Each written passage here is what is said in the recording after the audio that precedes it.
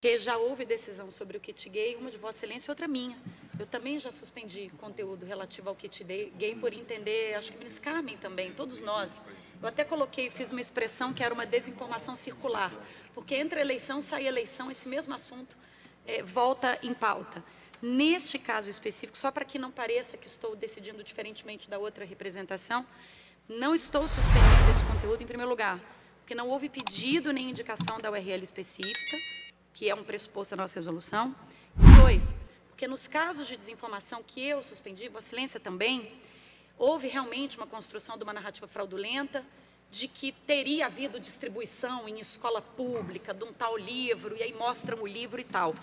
E aqui é uma matéria jornalística de TV aberta de 2011, envolvendo a concepção do kit de combate à homofobia. Isso aconteceu, o ministro da Educação, Fernando Haddad, foi chamado ao Congresso, isso aconteceu também. Ele dá uma entrevista, uma entrevista dele, ministro, então, da Educação, Fernando Haddad, envolvendo aquela polêmica, e no final eles recuaram nessa iniciativa. E é por isso que é mentira dizer que houve distribuição, porque houve um debate na época sobre as melhores formas de combater a homofobia dentro das escolas, e o próprio ministro da Educação recuou. Então, porque isso é uma matéria jornalística, o retrato de uma época, de um instante, um debate que aconteceu sem a criação de conteúdo novo, sem comentário nem nada disso, foi só por isso que entendi que esse caso é diferente do outro que eu já suspendi, em que se inventava uma história de que houve distribuição e tudo mais. Então, só para que eu, eu não pareça incongruente com a decisão que eu já proferi, que foi de, de, de proibição desse conteúdo do kit gay, que realmente é desinformativo. Agradeço, ministra Maria Cláudia.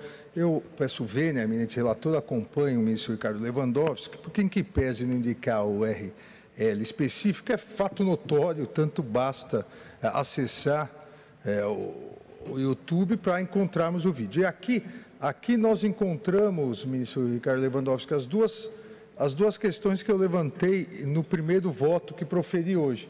A primeira, é, algumas premissas verdadeiras chegando a uma conclusão falsa, indicando a desinformação. E a segunda, é, é mídias tradicionais também se utilizando de fake news. Nós não podemos, com devido a vênia a eminente relator, nós não podemos achar que as mídias tradicionais só falam a verdade. Se a mídia tradicional também propaga uma notícia falsa, as consequências legais são exatamente as mesmas das redes sociais. Não é porque é mídia tradicional que pode é, falar o que bem entender. A diferença, e essa é a grande diferença, que infelizmente não foi possível a tempo aprovar no Congresso Nacional, é, equiparando as é, redes sociais à mídia tradicional, a grande diferença é que a mídia tradicional pode ser responsabilizada. A mídia tradicional, ela deve atuar e atua é, dentro do binômio liberdade com responsabilidade, enquanto as redes sociais, até então, têm uma responsabilidade menor. Então, acompanho a divergência, e proclamo o resultado, ó, o tribunal, por maioria, não referendou, não referendou a, o indeferimento da medida liminar,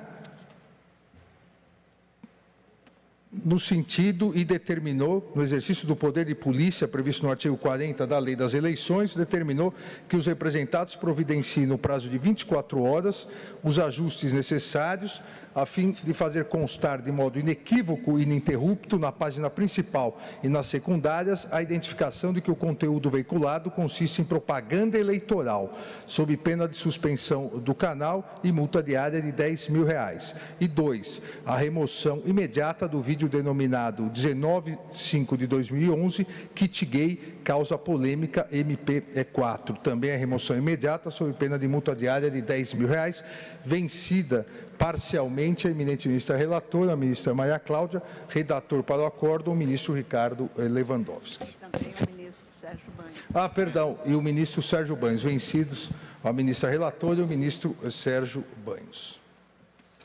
Encerramos eh, a nossa pauta, agradeço aos eminentes eh, colegas. Somente antes de encerrar a sessão, eu gostaria de eh, comunicá-los que vou realizar uma reunião com o Ministério Público Eleitoral, com o eminente vice-procurador-geral eleitoral e com o procurador-geral do Ministério Público do Trabalho, para que é, possamos é, alinhar um combate mais efetivo ao que vem ocorrendo no Brasil todo. Lamentavelmente, é, no século XXI, retornamos a uma prática criminosa que é o assédio eleitoral.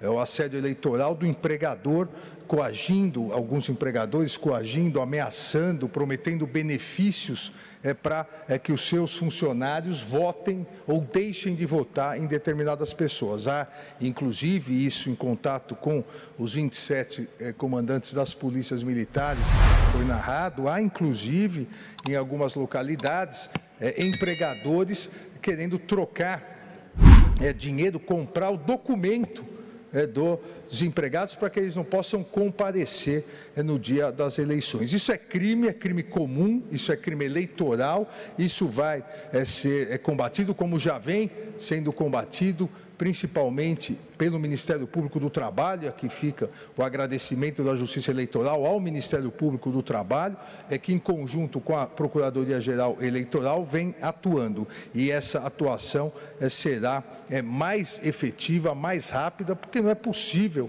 é, que como eu disse, em pleno século XXI, se pretenda coagir é, o empregado é, em relação ao seu voto. E a Justiça Eleitoral tem um canal específico para que todos aqueles que queiram é, denunciar essa prática ilícita possam fazer com absoluta tranquilidade, garantindo é, o sigilo, para que nós possamos é, coibir essa prática nefasta. Agradeço a presença de todos e todos os colegas, ministros e ministras, e declaro encerrada a sessão.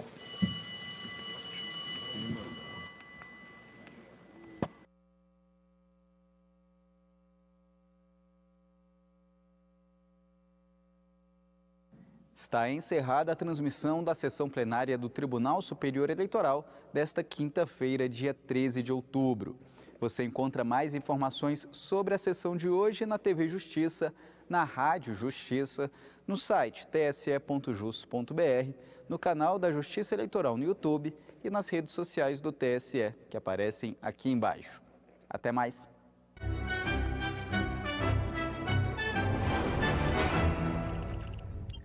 Você sabe que quando eu governei esse país, a vida das famílias melhorou.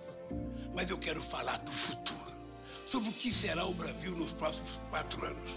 Garanta você, vamos voltar a gerar empregos, fortalecer o salário mínimo e renegociar as dívidas das famílias. Vamos apoiar os empreendedores, criar um ambiente melhor para os negócios e tirar esse país de novo do mapa da fome. Vamos juntos por um Brasil de paz, democracia e prosperidade. A oferta de médicos no Brasil.